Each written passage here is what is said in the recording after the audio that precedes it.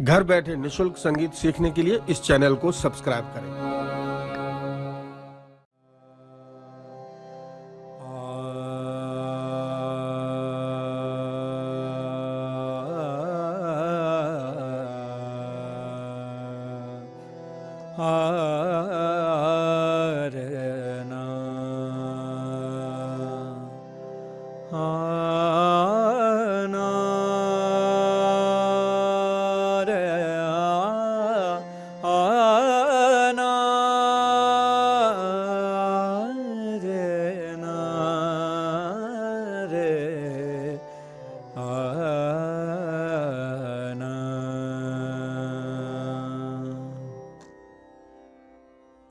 नमस्कार, मैं हूँ मास्टर निषाद और आप सभी देख रहे हैं संगीत प्रवाह वर्ल्ड का यूट्यूब चैनल। तो जैसा कि आपने थंबनेल और उससे टाइटल से पता कर ही लिया होगा, आज का जो टॉपिक है, वो एक एक्सरसाइज है जो आप कर सकते हैं साथ ही साथ इस वीडियो के भी और घर बैठकर भी अगर इस चीज़ को आप समझ लें तो आप खुद के गुरु बन सकते हैं। या यूँ कहूँ कि आप खुद अभ्यास करा सकते हैं खुद को, है ना? तो वही एक गुरु का काम होता है कि वो मार्गदर्शन करता है और एक तरीका बताता है कि क्या अभ्यास का तरीका है। और कई बार वो साथ भी अभ्यास कराता है, अगर आपके पास और कोई साधन नहीं है। तो अगर आपके पास साज है, तानपुरा है, हारमोनियम है तो आप घर बैठे रियाज कर सकते हैं। मगर ये जो मैं अभी तरीके बताने जा रहा हूँ, इसके लिए साज जो है वो हारमोनियम ज़रूरी रहेगा। क्योंकि हम कहते हैं सुनना बहुत ज़्यादा ज़रूरी होता है संगीत में। तो उसी से रिलेटेड कुछ एक तकनीक है जो मैं आपको बताऊँगा जिससे स्वर डेवलप होंगे, ठीक है? तो उस पर बात करने से पहले, आइए हम बात कर लेते हैं हमारे स्पॉन्सर ऐप रियाज ऐप के बारे में। जैसा कि आप देख सकते हैं और मैंने हर वीडियो में भी बताया है पिछले कि काफ़ी बेहतरीन ऐप है जिसके ज़रिए आप हिंदुस्तानी, कर्नाटक एंड बॉलीवुड संगीत आप सीख सकते हैं घर बैठकर। और इसको अगर आप ख़रीदेंगे तो कूपन कोड में अगर आप एस पी डब्ल्यू का कूपन कोड यूज़ करते हैं जो कि डिस्क्रिप्शन में तो टेन परसेंट आपको डिस्काउंट भी मिलेगा। तो देखिए ज़रूर आपको, उसका लिंक भी डिस्क्रिप्शन में है। तो जब आपकी बात हो चुकी है तो आइए दोबारा बात करते हैं हमारे टॉपिक पर, जो कि है, जो मैं बताने जा रहा था कि ऐसी क्या तकनीकें मैं दे सकता हूँ, जिससे कि आप खुद के जो स्वर हैं, वो डेवलप कर सकते हैं। तो जैसा कि मैंने छोटी सी चीज़ बताई कि सुनने से संगीत में बहुत कुछ आता है। तो हम कहावत भी बोलते हैं कि जैसे पहले कान सेन, फिर तानसेन है ना? तो एक अभ्यास है देखिए, हम क्या करते हैं जब स्टूडेंट्स जब क्लास में बैठते हैं तो एक परंपरा है गुरु शिष्य परंपरा, जिसमें क्या होता है गुरु जी गाते हैं और हम उन्हें रिपीट करते हैं। तो इससे क्या होता है, हम गुरु जी के स्वर सुनते हैं और वही स्वर खुद में डेवलप करने की हम कोशिश करते हैं कि क्या सही है, क्या गलत, कौन सा स्वर कैसा है, वो हमें गुरु के स्वरों से मालूम चलता है।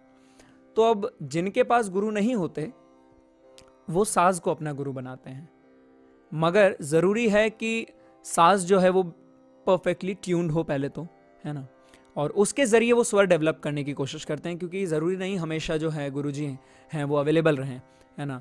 तो एक तरीका है कि आप कर सकते हैं ये कि जो अलंकार है या जो भी चीज़ है उसको पहले पहले आप बजाएँ, अच्छे से सुने, फिर रिपीट करें। ये एक एक्सरसाइज है छोटी सी।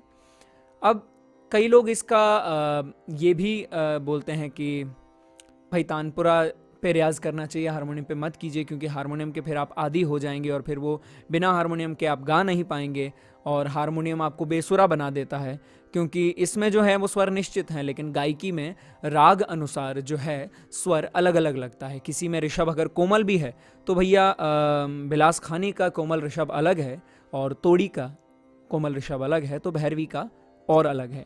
तो ये भी चीज़ है और ये सत्य बात है कि किसी में अति कोमल लगता है, किसी में उतना कोमल नहीं लगता है। कुछ श्रुतियाँ डाउन ऊपर, नीचे होती हैं, मगर वो प्रैक्टिस करने को नहीं कहा जा रहा है यहाँ पे।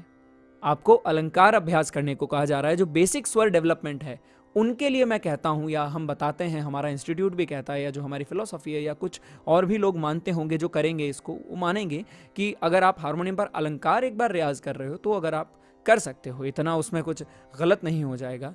देखिए, ज़ाहिर बात है कि वो जो तरीका है गुरु शिष्य परंपरा वाला, उसको मैं गलत नहीं ठहरा रहा हूँ कि वो गलत है कि आप, पर जिसके पास वो नहीं है ऑल्टरनेट क्या है उसके पास? या तो वो वीडियो देख के सीखेगा या फिर तानपुरे पर खुद से गाता रहेगा गाता रहेगा तो गलत स्वर तो तब भी लगी रहे हैं। अगर खुद से बैठ के तानपुरे पर गाता है तो तब भी गलत तो लग ही रहे हैं अगर उसे कोई बताने वाला नहीं है। लेकिन एटलीस्ट हारमोनियम ऐसी चीज़ है, जिससे आप बैठ के ये कर सकते हैं। और एक और चीज़ बताता हूँ मैं आपको। संगीत की तासीर कुछ यूँ है कि मैं हमेशा कहता हूँ कि स्वर और लय जो हैं, वो खुद से आते हैं। ऊपर वाले की देन है, रियाज करते हो तो कुछ तजर्बे होते हैं जिनसे स्वर और लय धीरे धीरे धीरे धीरे बैठती जाती है। हमें वो अंदाज़ा जो है हमारा पक्का होता जाता है कि ये जो स्वर है, इसकी फ्रीक्वेंसी कितनी है? इतना है तो ये इतना जाएगा, इतना है तो ये इतना जाएगा, इतनी ऊंचाई, इतनी नीचाई। तो वो धीरे धीरे आ जाती है। तो जितना सुनोगे, उतना स्वर डेवलप होगा। तो ये चीज़ मुमकिन है कि आप अगर हारमोनियम से एक बार अलंकार बजाया, आराम से गति में, और उसी गति में पहले उसको सुन लिया, फिर उसको गाया। हम यही तो गुरुजी के साथ भी करते हैं। जब गुरुजी गाते हैं तो हम रिपीट करते हैं, यही चीज़ तो हम करते हैं, है ना? मैं ये बिल्कुल भी सजेस्ट नहीं करूँगा कि जब आप रागदारी वगैरह करें, तब आप हारमोनियम का इस्तेमाल करें, मत कीजिए। क्योंकि पहली बात वो ऑर्नामेंट्स जो है म्यूज़िकल जो मैं अक्सर आप लोगों को भी समझाए हैं मैंने, कि जो मीड है, जो गमक है, जो कण है, वो मुमकिन नहीं है कि इस साज से निकले। सारंगी में या जो वायलिन है, उसमें वो चीज़ें फिर भी निकल सकती हैं। इसमें रेंज की वो चीज़ है कि जो गले की रेंज है, वो इसमें नहीं होती है। कई बार जो कई गुणीजन है, कई रियाजी ऐसे भी हैं जो इसको पार कर जाते हैं तो वो इसमें दिक्कत है है ना? ऑर्नामेंट्स की कि मीड इसमें वैसी नहीं लगेगी जैसी आपको चाहिए, है ना? तो वो है कि कुछ श्रुतियाँ आप अलग छू रहे हो तो वो इसमें नहीं निकलेंगी। मगर अलंकारों का जो रियाज है, जिससे कि स्वर एक बार बैठेंगे, वो हो सकता है। इसीलिए हम कह सकते हैं कि हारमोनियम से एक बार वो रियाज तो कर ही सकते हो आप। है ना?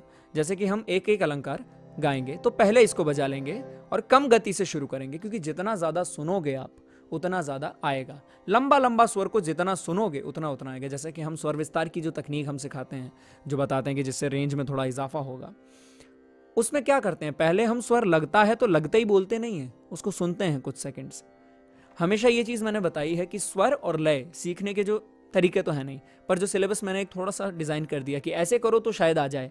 है ना? उसमें क्या है पहला पॉइंट ऑब्जर्वेशन का। और ऑब्जर्वेशन कैसे करते हैं हम? सुन के, देख के और फील करके। तो स्वर में आपको फील नहीं करा सकता। लय में आपको ऐसे टैप करूँगा तो आपकी बॉडी में फील हो जाएगी। एक, दो, तीन, ऐसे बोलूँगा सुनाई दे जाएगी। घड़ी चला दूँगा या मेट्रोनोम चला दूँगा तो दिख जाएगी। पर स्वर जो है वो या तो सुनाई दे सकता है खाली। स्वर दिखाई नहीं दे सकता आपको अनटिल वो बस गया हो अंदर। जब वो बस जाता है तो स्वर भी दिखते हैं आपको। पता चलता है कि कौन सा स्वर कहाँ जा रहा है। वो वो फिर रियाज है, वो साधना है है ना? और फिर ये समझिए कि तो वो सुनाई ही दे सकता है। तो उसके लिए हमको जितना ज़्यादा सुने, उतना ज़्यादा आता है। शुरुआत में क्या होता है कि हमें इतना ज़्यादा सुनना पड़ता है, ज़्यादा ज़्यादा सुनना पड़ता है। फिर हमें कम सुनना पड़ता है और थोड़ी देर में ही हम पकड़ लेते हैं, है ना? होता था ये जब आपने लय सीखी होगी तो शुरुआत में एक बार जब लय चल रही है तो वो टेंपो हम सुन रहे हैं कि यहाँ कितना जा रहा है। चार पाँच बीट निकल गई, फिर हम पकड़ पाते थे, बराबर में आ पाते थे उसके, उसका सामंजस्य बिठा पाते थे। लेकिन फिर धीरे धीरे हुआ कि एक दो बीट सुनी और हाँ वो आ गया। आधी बीट में ही पता चल जाती है अच्छा ये ले जा रही है। तो ये धीरे धीरे स्वर के साथ भी ऐसा ही खेल होगा, समझने लगोगे।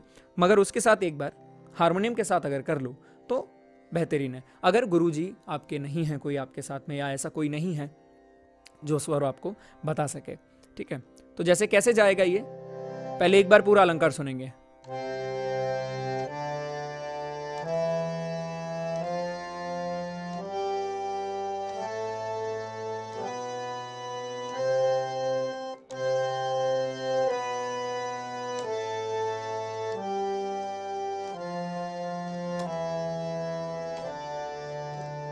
फिर गाएँगे। सारे गा पाधानी सा सा धा पा रे सा। इस तरीके से। तो यही चीज़ मुझे समझानी थी आज।